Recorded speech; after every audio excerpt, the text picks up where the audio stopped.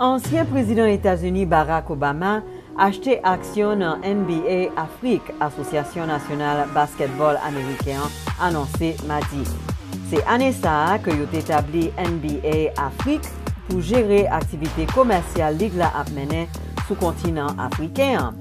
NBA a fe paret un deklarasyon ki di Obama se yon patner e strategik ki pral sevi avek nepot ki benefis li te remporte pou finanse Fondasyon Obama pou program ki vize jen jan avek leadership tou patou an Afrik. Se nan mwad me ki sot pase a, ke NBA a te kriye NBA Afrik an kolaborasyon avek Federasyon Internasyonal Basketbol la. Lig Basketbol Afrik la, se premier lig basketbol profesyonel kontinant e li gen la don ekip ki reprezenti 12 peyi.